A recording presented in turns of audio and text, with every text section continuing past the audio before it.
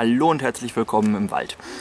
Es geht heute um das Thema Jagd und zwar mehr so den praktischen Teil, äh, um den Jäger auszuweichen. Denn ähm, der Bushcrafter hat nichts davon, wenn er unterm Hochsitz schläft, in Anführungszeichen, oder beziehungsweise da schläft, wo der Hochsitz quasi drauf ausgerichtet ist, also sprich in der Schussbahn. Ähm, und der Jäger hat auch nichts davon, wenn der Bushcrafter da schläft, weil äh, dann sollte er, wird er, ich glaube in aller Regel durchaus versuchen, nicht den Bushcrafter zu treffen und genervt sein, weil da so ein ein blödes äh, nicht draufschießen Objekt mitten in seiner Zielfläche quasi übernachtet. Wäre ein bisschen doof für den Jäger, wäre doof für den Bushcrafter und direkt unterm Hochsitz pennen ist auch für beide blöd, weil der Jäger weckt den Bushcrafter, äh, der Jäger muss den Bushcrafter, naja theoretisch sollte er ihn wegschicken müssen, was er aber rein rechtlich gesehen, wenn er nicht Jagdschutzbeauftragter ist, eigentlich gar nicht darf. Das ist alles nicht so einfach. Tatsache ist, es ist für alle Beteiligten am besten, wenn sich Jäger bei der Jagdausübung und Bushcrafter bei der Bushcraft-Ausübung am besten überhaupt nicht begegnen. Und so ist dieses Video quasi gedacht. Es soll dem Bushcrafter sagen, wo bzw. nach welchem Prinzip der Jäger seine Hochsitze üblicherweise aufstellt. Es gibt immer noch Ausnahmen und das ist nur ein ganz grober Anhaltspunkt, was ich euch hier geben kann oder beziehungsweise mehrere davon. Ähm, aber niemals jetzt irgendwie die unvollendete Weisheit, die euch garantiert sagt, an welcher Stelle ein Hosted steht und an welcher nicht. Vielleicht hilft es dem einen oder anderen trotzdem ein bisschen. Es ist wie gesagt nur so eine grobe Richtlinie. Das ist so ähnlich wie mit diesem Piratenkodex bei Fluch der Karibik, wer den kennt. Das sind auch keine Regeln, sondern eher so Richtlinien. Oh, oh, oh, Filmzitate im Wald. Hm, sollte ich irgendwann mal wieder sein lassen. Jo, ähm, Warum gucke ich dauernd nach da? Da steht ein Hochsitz und zu dem kommen wir gleich. Aber ähm, erstmal noch ein paar theoretische Hinter... Nee, halt. Erstmal noch zwei ganz andere wichtige Dinge. Erstens, ich bin pro Jagd. Ich finde Jagd hervorragend und wichtig, denn das einzig artgerecht gehaltene Tier, das man essen kann, ist wild. Weil das ist nicht gehalten. Jede Tierhaltung kann nicht artgerecht sein, weil Tiere vor gewöhnlich nicht gehalten werden.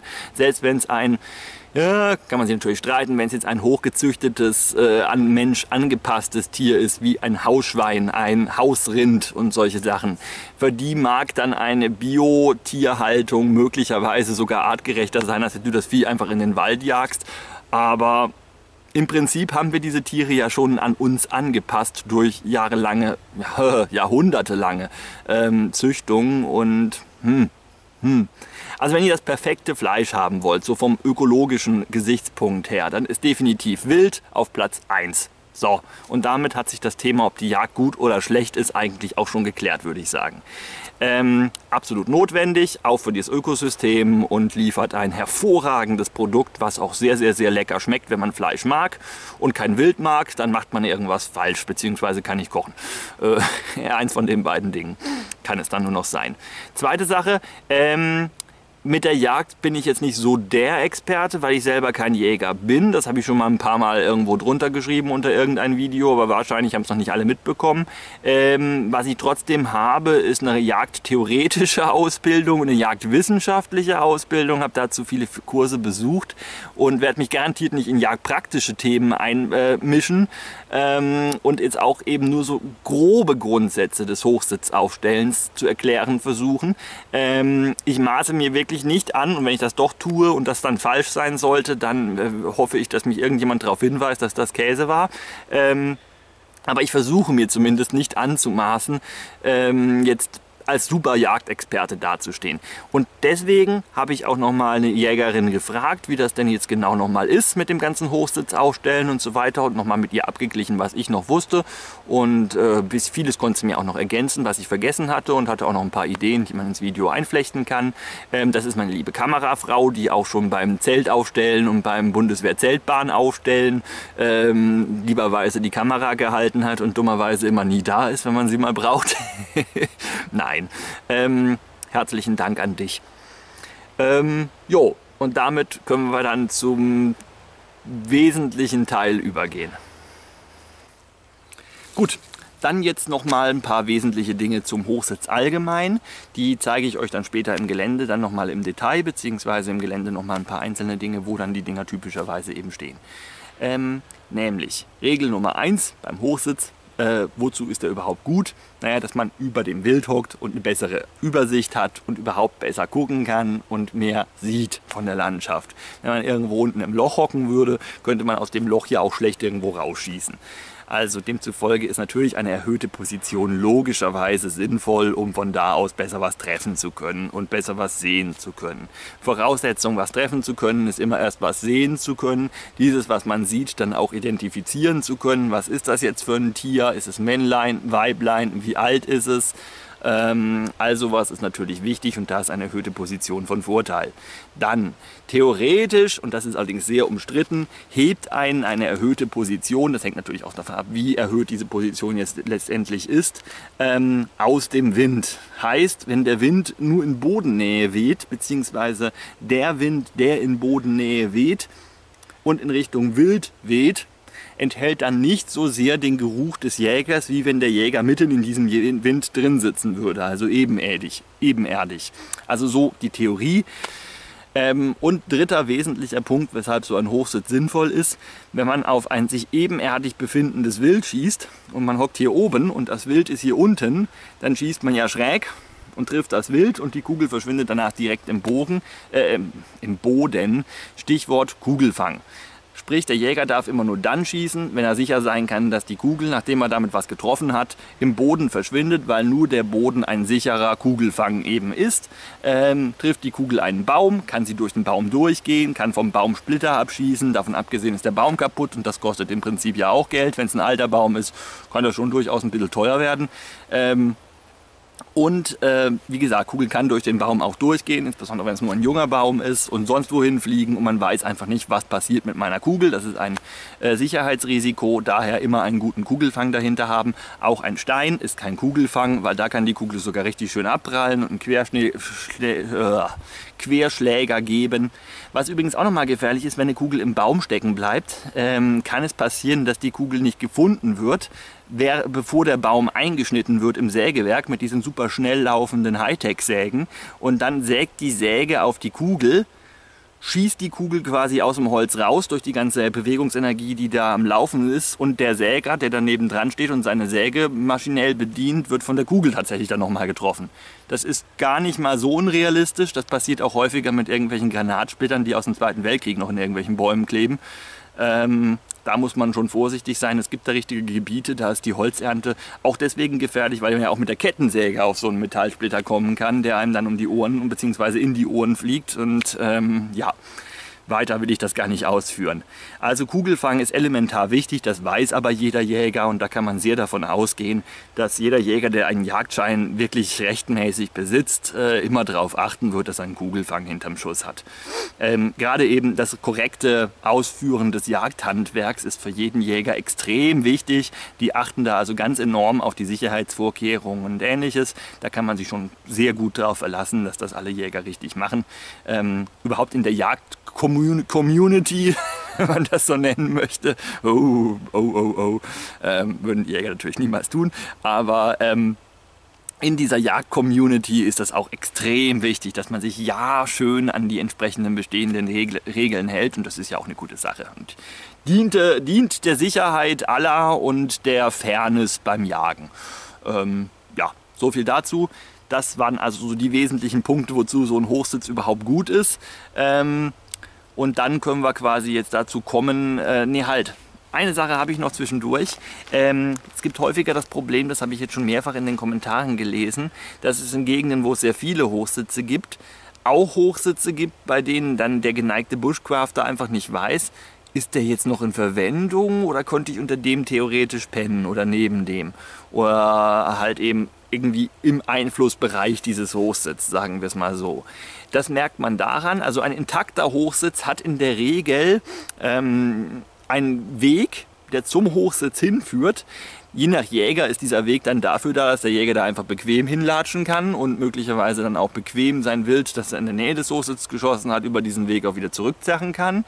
Ähm, oder oder auch oder und der Weg ist dazu da, ähm, dass der Jäger sich super geräuschlos und vorsichtig und heimlich und still anschleichen kann an seinen Hochsitz, den dann ganz leise aufbäumen äh, kann und hockt dann halt eben da oben und das Wild hat gar nicht mitbekommen, dass inzwischen der Jäger da ist. Auch dafür braucht er einen guten, ausgebauten Weg, weil durchs Unterholz latschen macht halt eben zu viel Lärm. Ähm, findet ihr so einen Weg nicht oder ist da so ein Weg nur noch so da, dass er schon zugewuchert ist, dann könnt ihr ziemlich sicher sein, dass an diesem Hochsitz schon ganz lange keiner mehr gewesen ist. Und in der Situation könnt ihr auch ziemlich sicher sein, dass da auch sehr schnell niemand mehr auftauchen wird. Anderes Beispiel ist, wenn um den Hochsitz drumherum jede Menge Brennnesseln oder ähnliches wächst, meistens sind es Brennnesseln, ähm, dann ist da auch schon lange, lange, lange kein Jäger mehr gewesen. Normalerweise fräsen die um ihren Hochsitz alles schön frei. Ähm, das sind so zwei Ansatzpunkte und natürlich, wenn der Hochsitz schon kurz vorm Auseinanderfliegen ist, dann könnt ihr euch ganz, ganz sicher sein, dass den niemand mehr benutzen wird, weil das wäre allein schon ein Sicherheitsrisiko, dann da drauf zu sitzen. Wichtiger Hinweis an dieser Stelle noch, ähm, Hochsitze sind Eigentum des Besitzers bzw. des Jagdberechtigten bzw. des Grundstückseigentümers. Das variiert irgendwie so ein bisschen, das hängt immer vom Einzelfall ab. Aber in jedem Fall sind sie nicht euer Eigentum und ihr dürft die Dinger am besten gar nicht erst anfassen. Also angucken, da kann keiner was dagegen haben, aber ihr habt obendrauf definitiv nichts verloren und auch nicht unten drunter und auch nicht dann rumrütteln und äh, dass man die Dinger nicht ansägen sollte als Natur Naturschutzwahnsinniger, ähm, steht glaube ich außer Frage. Gut, ähm, so viel zur Theorie und jetzt gehen wir dann quasi zur Praxis über und ich zeige euch mal ein paar Ansätze und erkläre euch ein bisschen, warum der jetzt da steht, wo er steht und dann müsst ihr einfach selber für euch kombinieren, wo ihr hin müsst, damit keiner da steht. Ich hoffe, das hilft irgendjemandem weiter. Ja, also hier haben wir Beispiel Nummer 1. Grundsätzlich ist zu sagen, wenn ihr so einen Hochsitz findet, dann könnt ihr davon ausgehen, dass der grundsätzlich auch genutzt wird, denn die Dinger sind ziemlich teuer und die stellt man nicht irgendwo hin, wo man sie dann quasi jahrelang einfach rumstehen lässt, ohne sie zu benutzen. Heißt, äh, gerade eben solche mobilen Hochsitze, die man abbauen kann und woanders hinstellen kann, stehen da, wo sie stehen, meistens dann nicht so lange und heißt, die Zeit, die sie da stehen, haben sie auch eine Funktion kann man soweit mir hoffentlich folgen. So, und warum steht er jetzt da, wo er steht? Also ich habe hier mal als Rehersatz meine Jacke hingelegt. Ähm, das ist jetzt die Sicht, die man hat, wenn man unterm Hochsitz steht. Sprich, von etwas oben drüber hättet ihr halt einen noch besseren Überblick über das Geschehen. Ihr habt hier vor euch quasi einen Hang, und wenn an diesem Hang jetzt tatsächlich ein Reh auftaucht, dann kann man ohne Probleme schießen, um sich, ohne sich irgendwie über Kugelfang Sorgen machen zu müssen, weil der Schuss geht garantiert in den Boden, weil halt der Schusswinkel in den Hang automatisch reingeht. Also das ist halt schon mal was super Praktisches. Die, äh, wenn man ein hügeliges Gelände hat, dann stellt man seinen Hochsitz meistens an einen Hangfuß oder relativ unten irgendwo an den Hang, an einen Punkt, wo man einen ganzen Hang möglichst auf großer Fläche einsehen kann. Und äh, logischerweise sollte an dieser Stelle, die man da einsehen kann, auch nicht so viel Bodenvegetation da sein.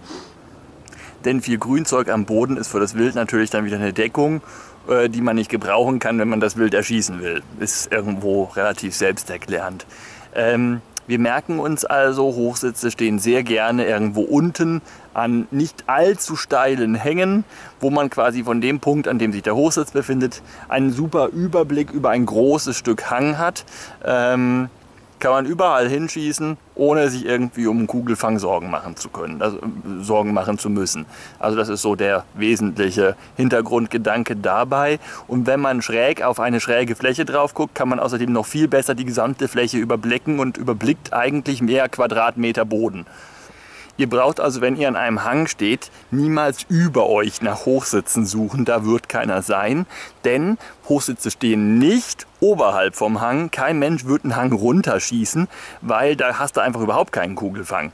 Gerade dann noch durch die erhöhte Position des Hochsitzes schießt man dann am Hang entlang, äh, trifft von mir aus mit der gleichen Kugel fünf Rehe, aber die Kugel trifft danach da unten irgendwas, was im Tal abgeht, möglicherweise ewig weit weg. Da hat man überhaupt keine Kontrolle mehr unter den Schuss. Also oberhalb vom Hang findet ihr garantiert keinen Hochsitz.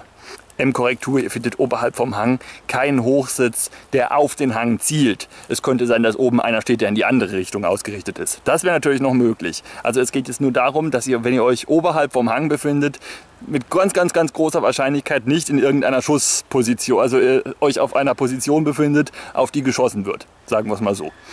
Ja, da unten seht ihr nochmal den Hochsitz. Und jetzt befinde ich mich ziemlich weit oben am Hang aus Sicht des Hochsitz wird jetzt hier dieser Horizont, äh, den ich hier in der Kamera habe, wahrscheinlich auch der sein, der für den Hochsitz der Horizont ist. Und wenn ihr euch an so einem befindet, könnt ihr auch wieder sicher sein, dass an diese Stelle nicht geschossen werden wird, denn würde er quasi ein Reh schießen oder einen Bushcrafter ähm, ähm, der sich halt eben da am Horizont befindet, würde die Kugel ja wieder den Bushcrafter, äh, das Reh, durchschlagen und entsprechend irgendwo ins Nirgendwo verschwinden und dann auch noch in einem steilen Winkel nach oben. So ein Jagdgewehr hat also locker eine Maximalreichweite, das ist überhaupt nichts Besonderes von zwei Kilometern. Und im Prinzip hast du keine Ahnung, was mit deiner Kugel dann passiert, nachdem sie da über diesem Hang verschwindet zu zwei Kilometern Reichweite. Ähm, natürlich kann man auf diese Entfernung nicht mehr zielen, aber die Kugel kann theoretisch dann immer noch fliegen, ist dann auch nicht mehr so richtig, richtig, richtig fies und wird keine, ähm, keine Ahnung, äh, kugelsichere Weste mehr durchschlagen, das auf keinen Fall. Aber, aber verletzen kann man sich natürlich trotzdem noch dran. Oder man kriegt das Ding ins Auge oder es passiert sonst was oder ein Kind wird getroffen oder der Kinderwagen durchsiebt. Ähm, ja, jeder darf sich da selber irgendwelche ganz schrecklichen Szenarien ausdenken, die da passieren können. Und das macht der Jäger natürlich auch. Und demzufolge wird das kein Jäger tun, der einen Jagdschein auf legalem Weg erworben hat. Bei einem Wilderer wäre es möglicherweise denkbar, dass das dem scheißegal ist. Aber die gibt es heutzutage in Deutschland zumindest kaum noch.